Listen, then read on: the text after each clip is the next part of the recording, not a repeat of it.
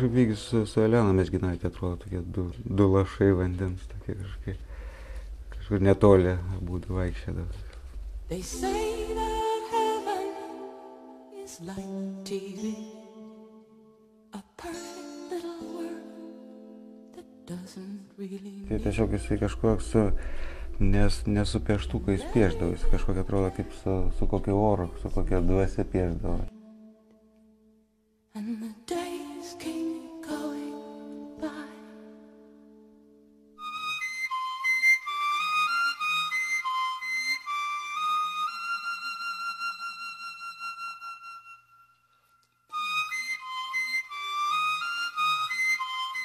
Bet pas jį yra vis, visur yra labai didžiulis kristas, toks krislas tokio kažkokio tra, tragedija sėdėjimo, toks visur nėra nei vieno tokio ramaus darbo, visur kažkokia tokia, kažkokia to likimo toks, žvelgia tragiškumas toks.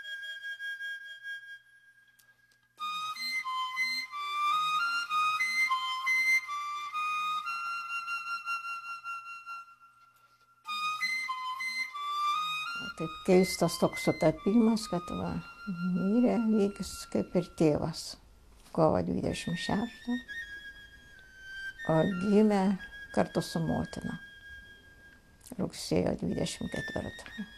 Čia toks labai įdomus sutapimas.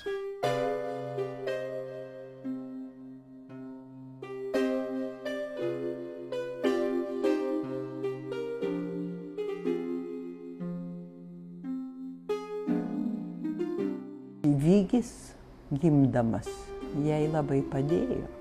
Dėl to, kad ji turėjo tą ra- radikulitinį. Tie skausmai pas ją visą laiką būdavo. Kai gimė Vygis, jai susitvarkė viskas. Taip, kad Vygis buvo džiaugsmas. Pono Centrijos premjerministrė įsakymas. Skubėjo užimti smėlynus, filmus atstovo jau atvyksta. Pagaliau.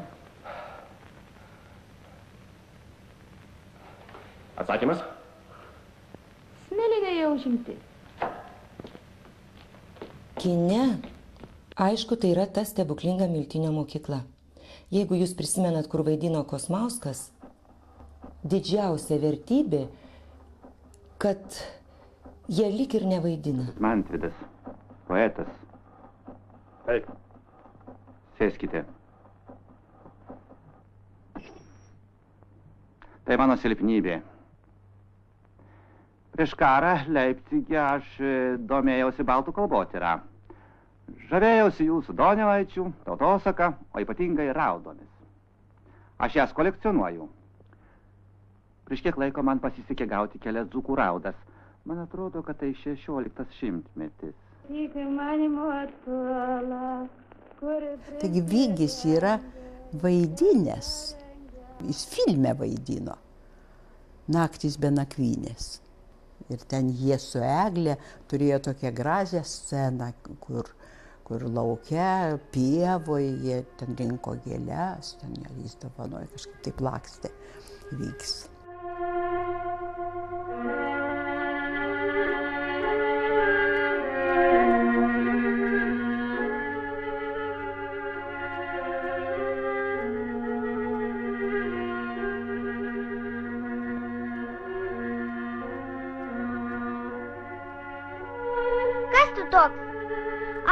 Aš man vidų vytas, o aš milda sugauk.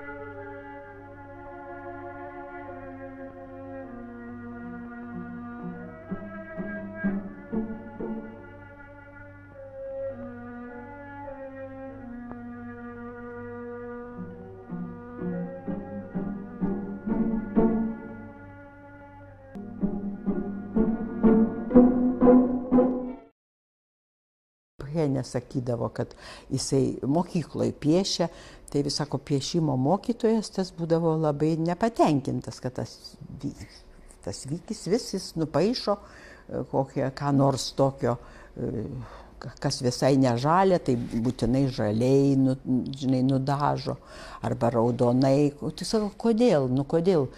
Jis jau turėdavo, vaikas jau jis matydavo kažkaip tą. Aš matau taip, jis sakydavo.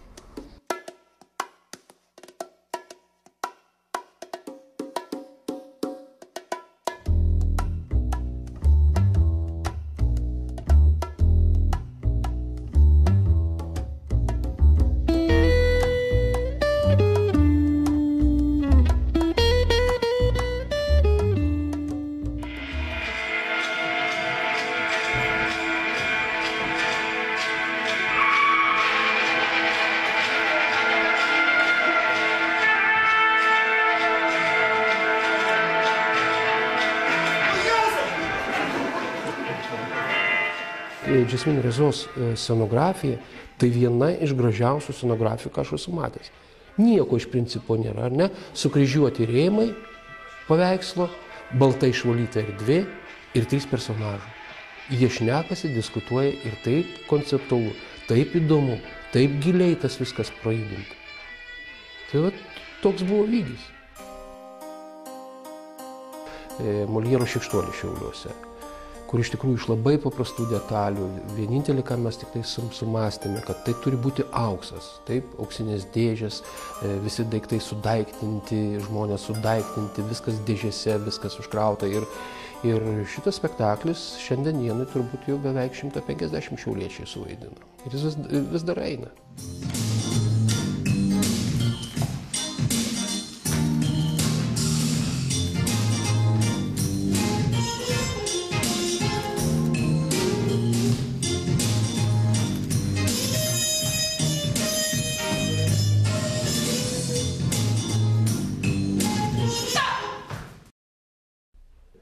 Kur tos vizijos? Keistos, įdomios, e, e, netikėtos, metamorfozės, ką jis labai mėgdavo.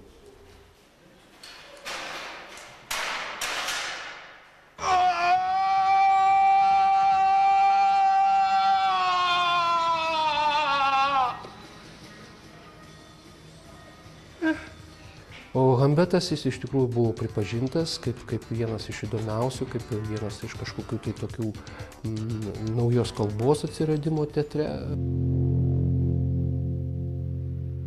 Ir lygiai taip pat kaip jis aikštelę ruoždavo Hambete, e, ta prasme, šitą reikia, šitą reikia, šitą, ne, šito nereikia, o pabandom šitai, o pabandom šitai. Jis buvo tikrai mano e, bendrautorius, aš neskirdavau, kad čia yra režisierius, o čia yra e, dailininkas scenografas. Tai buvo, buvom bendra autoriai. Kažkas vyko, aš nežinau, iš kur ten tas vyko.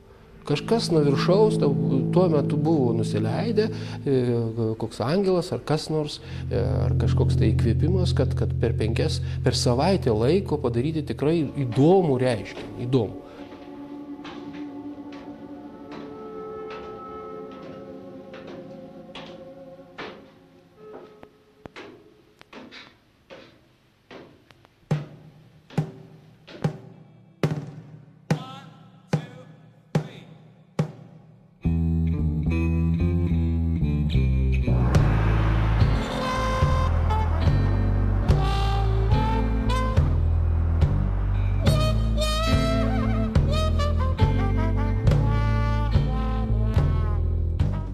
Plakatą jis iš, ištraukdavo spektaklio esmę.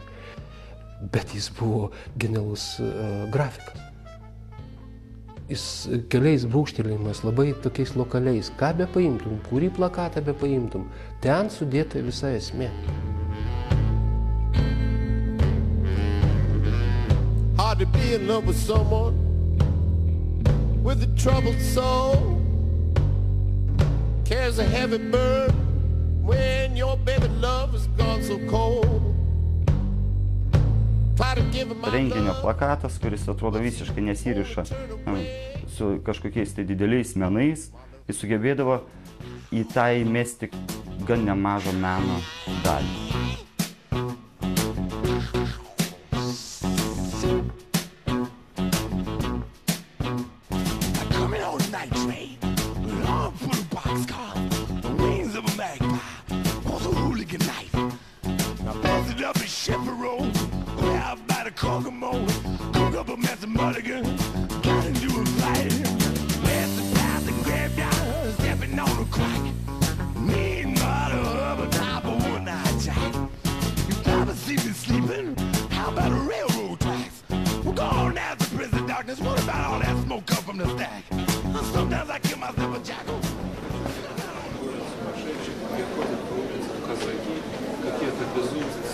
to the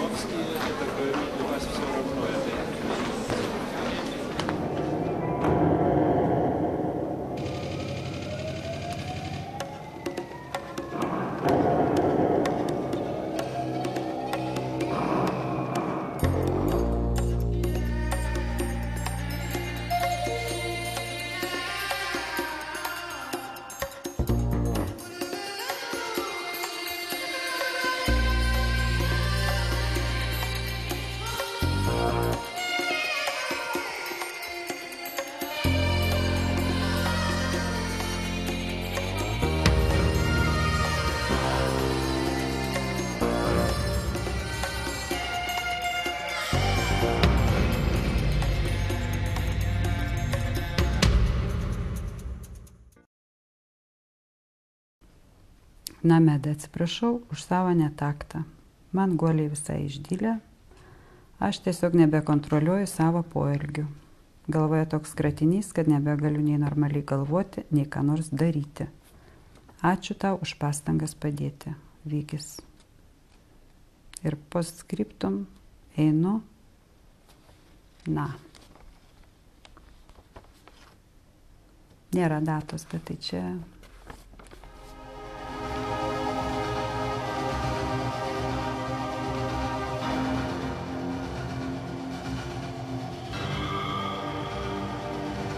Nu, kažkaip švari tokia balta yra.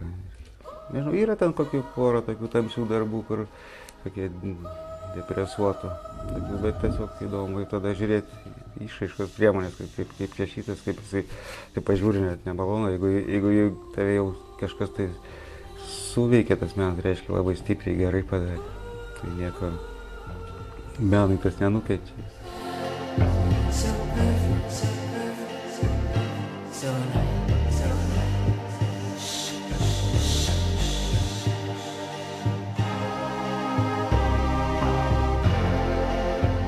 Mums atrodo, kad Vavygis galbūt buvo silpnas kame, tai iš tikrųjų taip nebuvo, jis man atrodo buvo galbūt kaip tik stipriausias.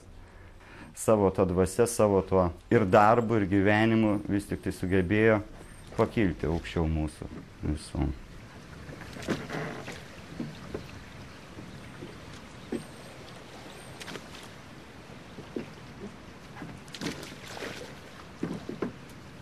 Pas Vygiškis, jeigu dar, dar dailininkas filosofas, tai jisai tik tai ir kapsto tos giliuosius dalykus, kaip čia viskas atsirado, kur čia, kur čia viskas eina, ar kuo čia viskas baigsis, ar iš viskas kuo nors baigsis. Tai tie klausimai visi, visi gi tik pas Dievą ar yra.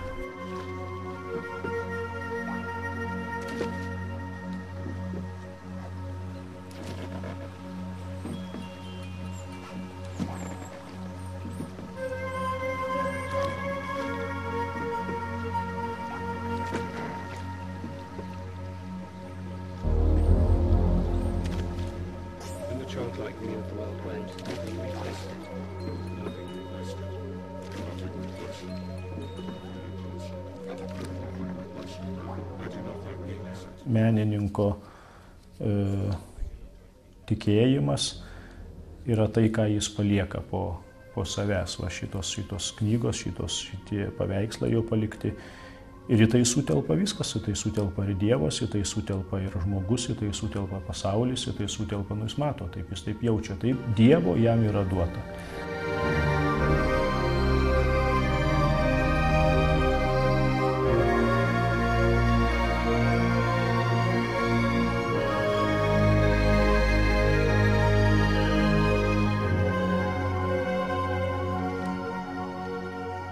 Austrijoje knyga gimė. Unikali knyga, niekas turbūt nė- nėra turbūt Europoje analogų nei pasaulio. Kad nesuvėluotumėm, reikia išleisti, jinai privalo išeiti ir išvysti pasaulį.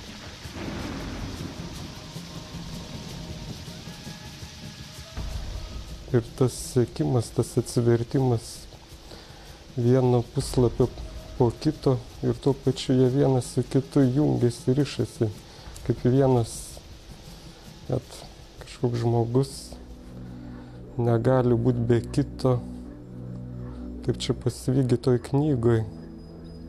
Vienas puslapis turi būti su kitu ir jie jungiasi ir pereidami viens į kito, ta seka atrodo be galo, gali juos versti, eiti.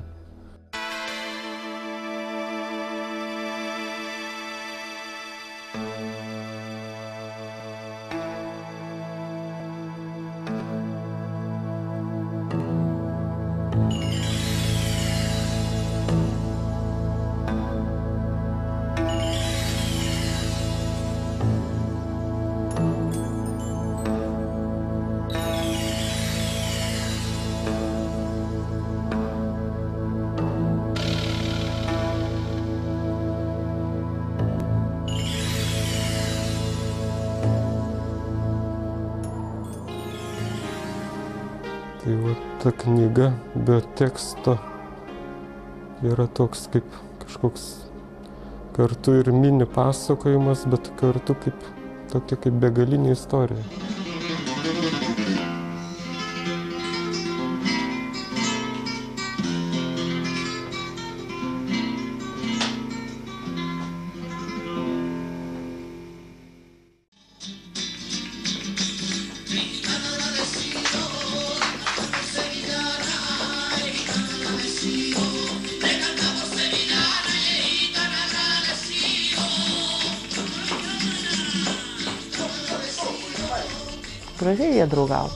Labai. Visą laiką padovanodavo kažką, tai ten kaip gimtadienis ar dar kažkas. Dovanėlių gražių, kokių tai subtilių tokių. Aietus kaip gražu. Kaip gražu.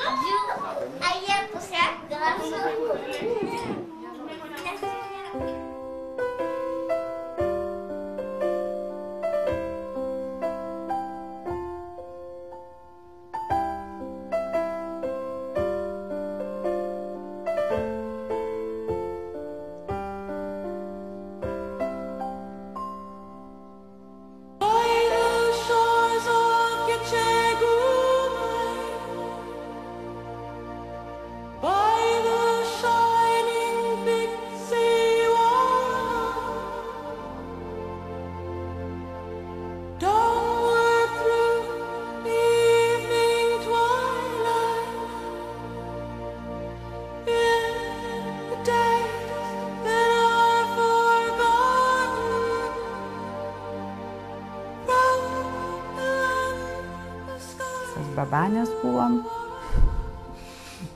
Babanės. Taip, babanės. Kai aš atsimenu, prie Vygio karsto stovėjom jau ten, kaip Vygis pasakytų, babanės.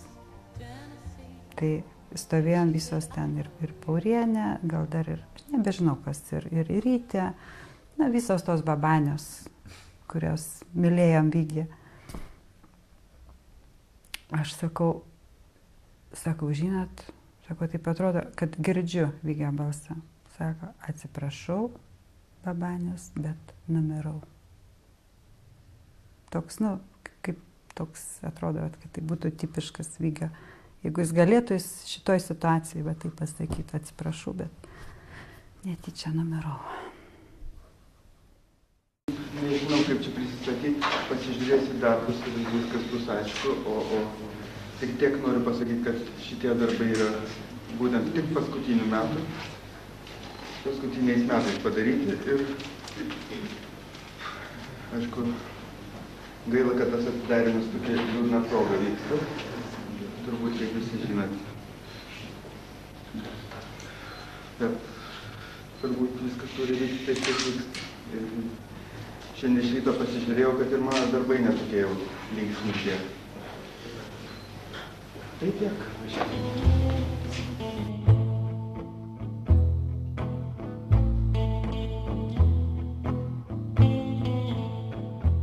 Liūdno paukščio ruduo tai pavasaris šitas.